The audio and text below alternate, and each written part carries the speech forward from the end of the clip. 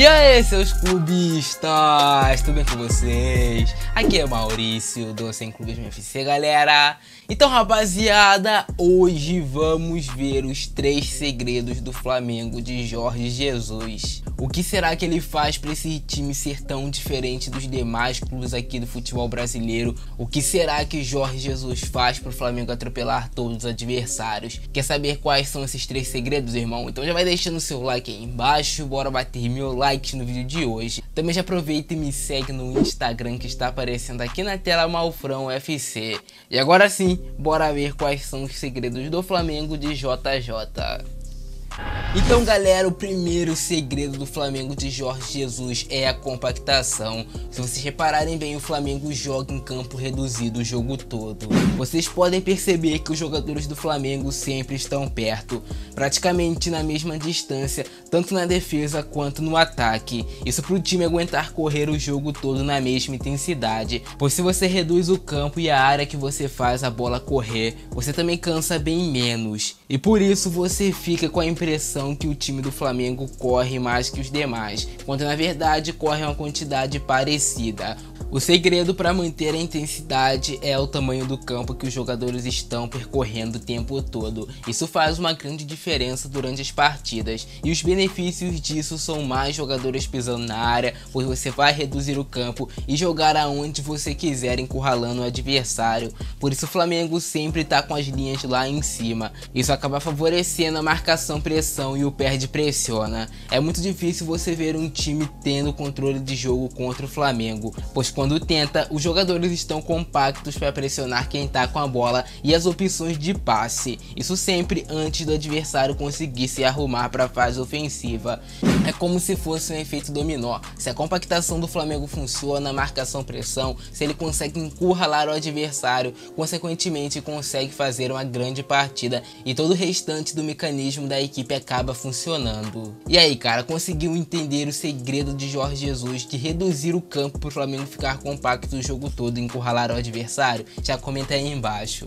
Segundo segredo que faz o Flamengo ser o que é hoje é a marcação pressão após a perda da posse de bola. Toda vez que um jogador do Flamengo erra um passe, um drible, um lançamento ou algo do tipo, o time imediatamente sufoca o adversário antes mesmo dele conseguir o controle da bola sempre com mais de um homem marcando, forçando o erro técnico do adversário. Isso traz para o Flamengo o benefício de pegar a defesa adversária desajustada, pois na troca do adversário da fase defensiva para a ofensiva, o Flamengo retoma a bola e como já está compactado, consegue sempre ter uma superioridade numérica no campo de ataque. Então se perde pressionando o Jorge Jesus, é essencial para o Flamengo durante as partidas. E por fim, o último segredo e o mais importante desse Flamengo de Jorge Jesus é o poder do hábito. Com certeza você já ouviu isso alguma vez na sua vida sobre o poder do hábito. Se você ficar 21 dias praticando alguma coisa, você vai adquirir esse hábito. E o JJ implantou o hábito hábito da vitória no Flamengo. O time é acostumado a vencer sempre, ser campeão, golear, jogar bonito. Não importa o campo que seja, se é dentro ou se é fora de casa, o time do Flamengo tem sede de vitória. Nunca entra em campo pensando em empatar. E quando não vence é algo que machuca muito os jogadores, pois a vitória se tornou um hábito no elenco do Flamengo. Um exemplo disso é quando o Flamengo estava perdendo para a Portuguesa do Rio. Finha lateral do Flamengo se exaltou muito na hora da virada virada, acabou até discutindo com o técnico da portuguesa, porque tá ligado, mano? Tá dentro dele essa sede de vitória e o Flamengo não está ganhando aquele jogo, com certeza tava machucando ele muito internamente. O hábito da vitória é para poucos, cara. E quando você acaba adquirindo esse hábito, é muito difícil de alguém tirar de você. Se hoje você pegar 90% ou até 95% dos times brasileiros não tem esse hábito de vencer todo jogo.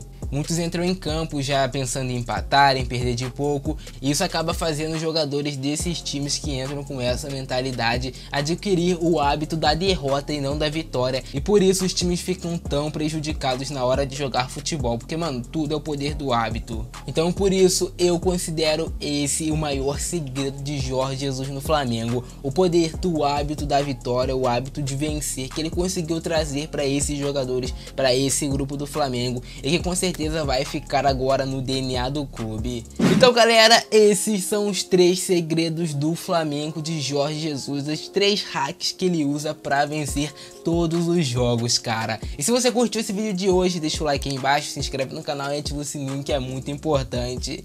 Também não se esqueça de comentar aí embaixo qual desses três segredos do Flamengo de Jorge Jesus você quer implementar no seu time, porque eu vou estar lendo todos os comentários de vocês e respondendo a todos. Eu vou ficando nessa, por hoje é isso. Grande abraço do Francesco. É nóis e fui!